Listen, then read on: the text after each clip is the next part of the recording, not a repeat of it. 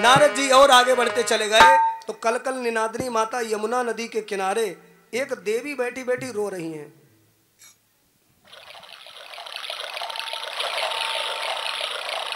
नारद जी ने देखा क्यों रो रही हैं?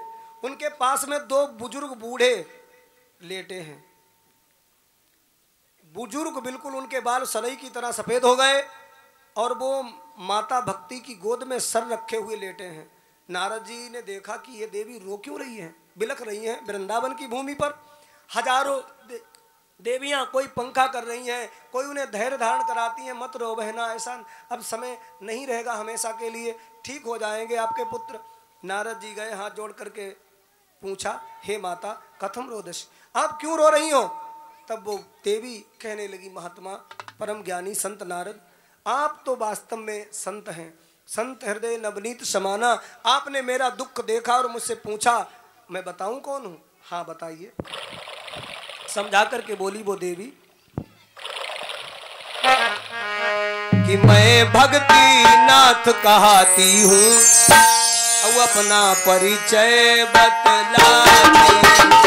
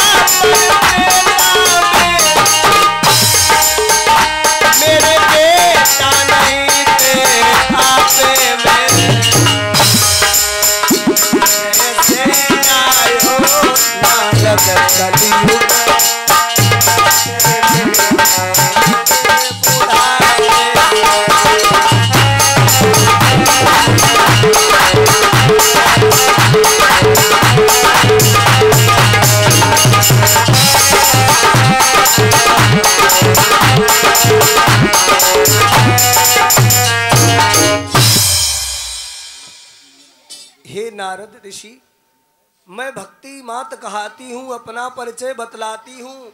है ज्ञान वैराग्य पुत्र मेरे, इन कारण दुख उठाती हूँ। हम्म? ध्यान देना।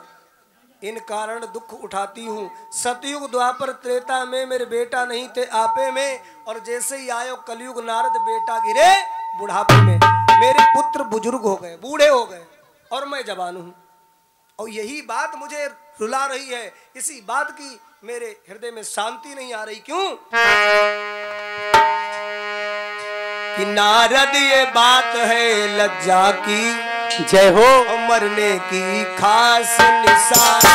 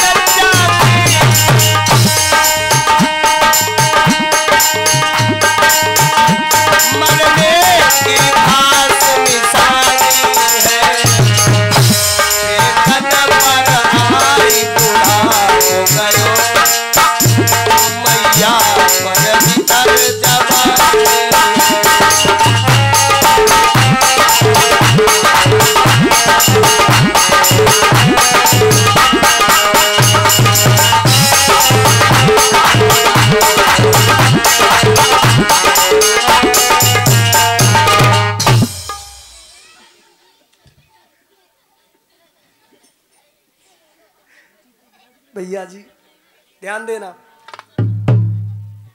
नारद, ये बात है, लज्जा की, मरने की खास निशानी है। और बेटन पर आए बुढ़ापो गयो मैया पर इधर जबानी। नारद जी, ये मेरे पुत्र बुज़ुर्ग हो गए। भक्ति मैं हूँ, मैं जवान हूँ। अच्छा भक्ति जवान है कलयुग में? जवान कैसे है मालूम? क्योंकि भक्ति खूब हो रही है, उसकी कदर है। भक्ति खूब हो रही है। खूब गली गली में कथाएँ, भागवत राम कथा गली गली में महाराज चर्चा हो रही है। लेकिन महाराज, ध्यान देना,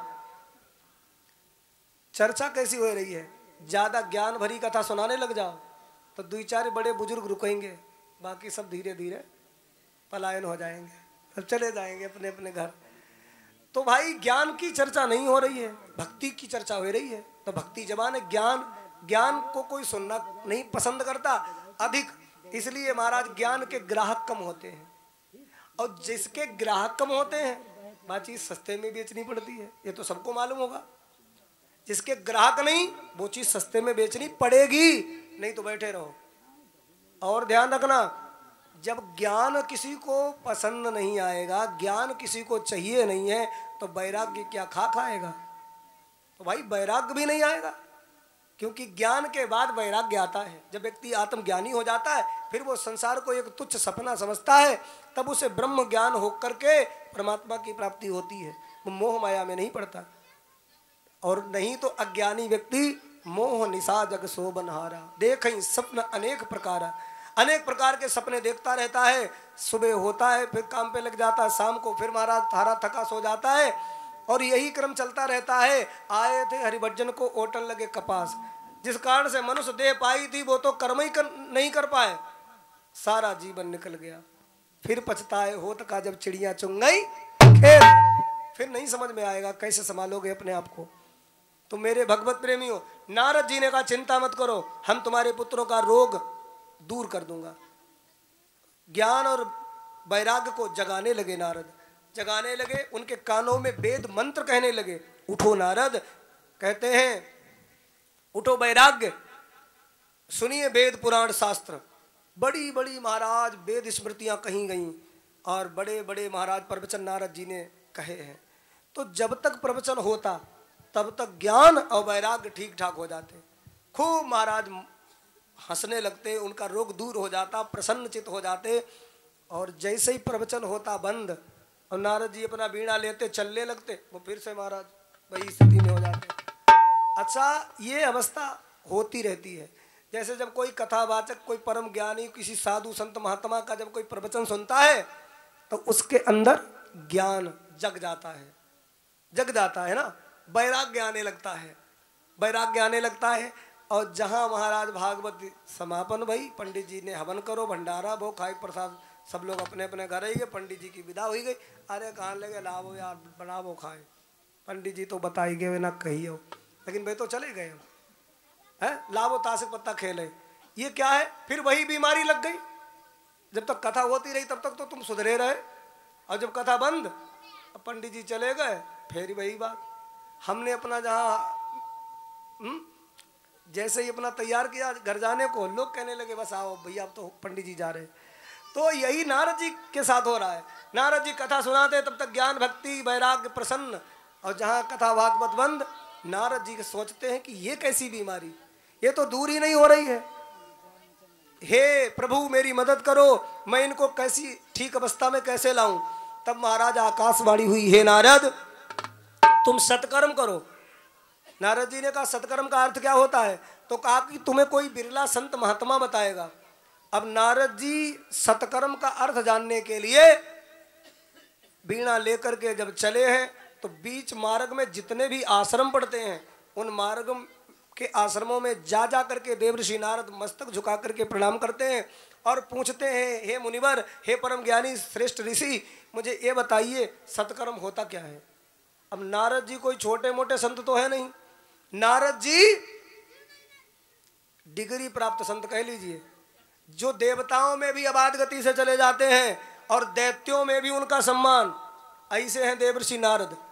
और नारद ऋषि की इतनी ऊँची पदवी जो ब्रह्मा के पुत्र हैं, और ऐसा संत, और मृत्यु लोक के संतों से ये पूछे कि भाई सतकर्म का अर्थ क्या होता है? तो महाराज, कुछ तो अपने शिष्य लोगों से जा कह दे देव ऋषि नारद देख लियो तो जा कह दियो, मेरे गुरु जी मौन व्रत में बैठे हैं, भाई एक महीना ना बोलेंगे। ऐसा होता है कि नहीं? जैसे कोई डिग्री प्राप्त हम्म, डॉक्टर आ जाए तो झोला छाप वाले पता लग जाए कि डॉक्टर साहब आए हैं कोई बहुत बड़े। तो महाराज पीछे वाली खिड़कियाँ से ताला लगा के निकल जाए वो। और भले भी डिग्री प्राप्त जो डॉक्टर साहब आए हैं एमबीबीएस वाले तो वो इनसे पूछना मैं कि भैया जा बीमारी में समझ ना आई रही तुम तो गाँव में खूब इलाज करते हो। हम हमारे पास डिग्री ज़रूर है लेकिन हमें ना समझ में आ रही। उसे मालूम होएगो सो वो कही भैया काहे फंसाई दियो है? तुम तो भैया डिग्री वाले हो। अच्छा डिग्री वाला अगर धोखे से भी किसी को है, लग जाए इंजेक्शन और उसकी मृत्यु हो जाए तो उस पर कोई कार्रवाई नहीं कर सकते क्योंकि उसमें डिग्री है। और जिसके पास डिग्री नहीं है डॉक्टर वो कितना भी बड़ा ऊँचा हो परंतु वो है तो नाकामयाब सरकार की दृष्टि से। इसलिए, नारद जी, तुम तो बड़े कामयाब संत हो। हम आपके प्रश्न का जवाब नहीं दे सकते। नारद जी सोचने लगे, तुम लोग नहीं दे सकते तो ब्रह्मा जी मेरे जो पिताश्री हैं, वो तो दे सकते हैं। उन्हीं के पास जा रहे हैं। अब देवर्षि नारद ने वीणा लिया और तीर्थों का भ्रमण करते हुए बद्री नारायण धाम पहुँचे। वहाँ सनक, सनंदन, सनातन, सनत कुमार, ये महाराज चार ऋषि कुमार बैठे थे, भजन कर रहे थे। हरि शरणम हरि शरणम का जाप कर रहे थे। संत नारद को देखा और बोले, नारद, आज तुम बड़े उदास लग रहे हो। तुम्हें देख करके तो लोगों के अंदर की उदासी चली जाती, लेकिन आप स्वयं उदास हो। क्यों? संत कभी अपने लिए चिंतित नहीं होता। क्या कोई संसार में घटना घट रही है?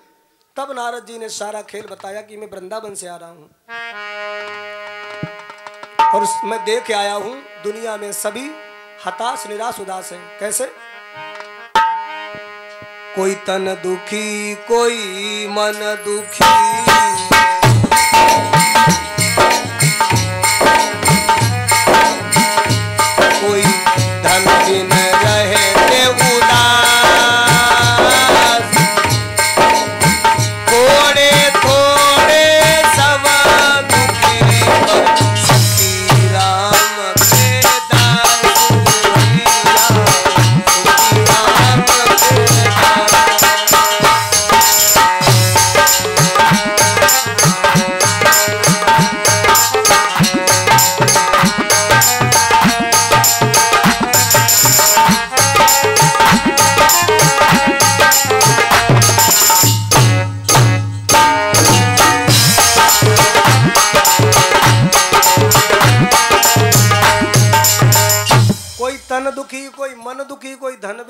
उदास और थोड़े थोड़े सब दुखी सुखी राम के दास। जो है राम के दास, वो नहीं होते उदास, क्योंकि वो रहते परमात्मा के हमेशा पास, है? नहीं वो होते जगत से कभी निराश। इसलिए सारी आशा छोड़ करके एक भगवान से ही लगा लो अपनी आस। मेरे भगवत प्रेमियों, नारद जी की बातें सुन करके शरद कुमार कहने लगे, तुम्हारे अंदर जो चिंता है ना, शरद कुमार कहते हैं कि वो सारी चिंता मैं दूर कर दूँगा। भक्ति माता से कहो कि अपने ज्ञान वैराग्य पुत्रों को लेकर के हरिद्वार में आ जाएँ। और हम बद्री धाम से नीचे उतरते हैं। बीच में एक आनंद नाम का तट है हरिद्वार में। वहाँ पर एक हम श्रीमद् भागवत की पवित्र पावन कथा कहेंगे। और यदि भक्ति माता ने ज्ञान वैराग्य को वो कथा सुना दी तो समझ लो उनका कल्याण हो जाएगा। नारद जी ने कहा, महाराज, कैसी बात करते हो? मैंने उनको वेद सुनाया, गीता, पाठन, मुहुर्मु, कई बार मैंने गीता का उनको पाठ कराया, वेदों का श्रवण पान कराया, शास्त्रों का अध्ययन कराया। लेकिन आप कहते हो, एक भागवत महापुराण सुनकर के उनका कल्याण हो जाएगा? नहीं लगता मुझे। अरे भाई, भागवत में कुछ अलग से तो नहीं है। वेदों का, वेदों को जो मैंने सुना दिया, तब भागवत क्या चीज़ है? तब सनत कुमार कहने लगे, नारद, तुम बड़ी भूल कर रहे हो। ये वेद जो है ना, ये मूल है। मूल माने जड़। ये मज़बूत जड़ है। तो वेद रूपी कल्प वृक्ष, वेद रूपी कल्प वृक्ष का पका हुआ फल ही है श्रीमद् भागवत कथा।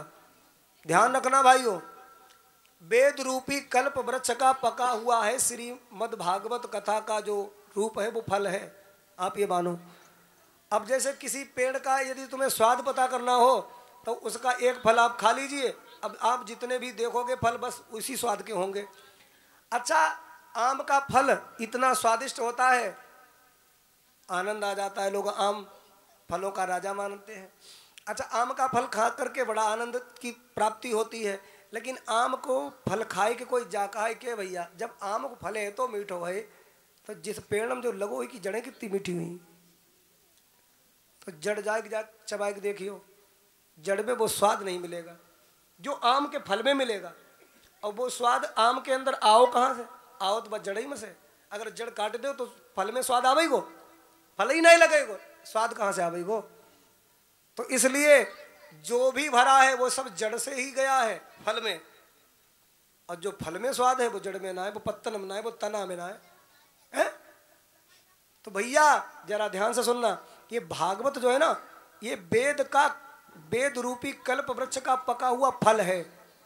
जिसके बाद जीवन में अधिक समय ना हो तो भगवान की पवित्र पावन श्रीमद् भागवत कथा का पवित्र पाठ सुन ले, सात दिन कथा सुन ले तो कलयुग में सबसे बड़ी सरल साधना यही है। बिन हरि कृपा मिलत नहीं संता। और राम कथा या भागवत। ऐसे हो नहीं सकती। बड़े बड़े पैसा वाले पड़े हैं, लेकिन कभी वो भागवत और राम चर्चा, धर्म चर्चा, यज्ञ भजन पूजन नहीं करवाते, क्योंकि उन पर कृपा नहीं है।